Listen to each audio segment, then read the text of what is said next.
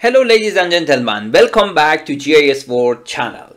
Today I would like to show you and to tell you very important topic in the QGIS, how to do the uh, tracing in, in for the digitizing in the QGIS, which is a very important topic for everyone. So let's start. Actually I have one layer map border test here and I would like to create one or digitize a new polygon to show the border of the new map for example. For just just imagine i would like to create one a new uh, border here. So what should i do? First of all coming here and after that coming here. Uh, as you see toggle editing activating and here you see if it's a polygon add polygon feature. If it's line add line feature. And if it's point add point feature. And we will start. Okay. So i would like to create from here to here for example here just coming down and you see okay it seems very fast but let's see the result. Okay. It's done as you see you know it's not matched uh, according to our parcel city uh, parcel city layer and it's not a uh, good one because you know at the end you you will have a, a lot of mistake into your for example area calculation and for further management and uh, process. So let's solve this problem together First of all, we must activate a snapping option and if you just go to the project here, you see a snapping option and you have this chance to activate this one. So, you know, here it's off and here it will be enabled and here, the, the, according to which layers, it's up to your project. For example, here we have, you see the, the parcels, parcel city and here you can define the uh, type, here the tolerance and the type you can define vertex, segment, centroid, line endpoint and the tolerance is uh, according to the uh, how accurate your project is that it's it's up to you.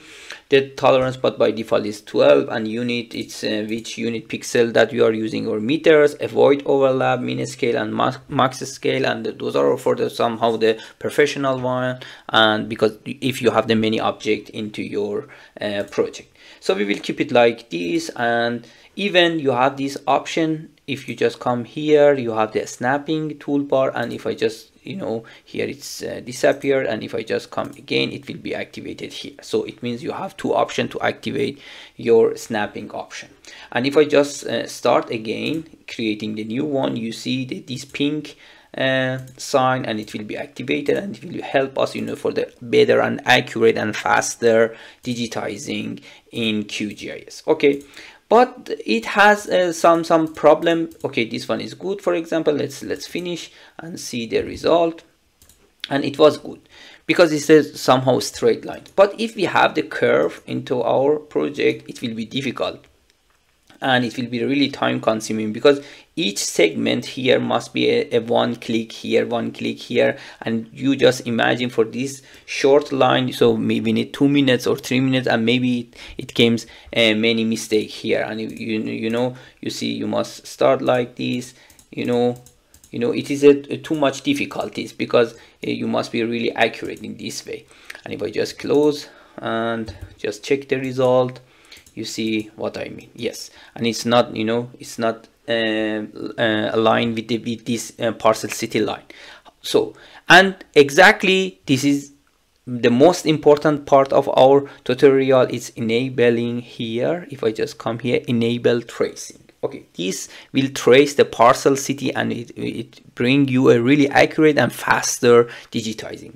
And let's see how it's working and let's test how it will be with the when the uh, the tracing is activated. And if i just stay here and after that you know without any clicking you know it's it's following and it's tracing you know it's just maybe one click and after that you know here and it's just click uh, closing the part and you see the result. And if I just zoom in you see there is no problem in it. So just imagine if you would like to you know uh, digitize this part you know how many uh, clicks you need that and how how is your accurate because we have some parts are curved and you know we have the many section and intersection and it takes a lot of time. But right now there is no problem and it's really faster I hope you enjoyed from this video and if you have any question or if you have any suggestion please write it down in the comment section. Thank you again and see you soon.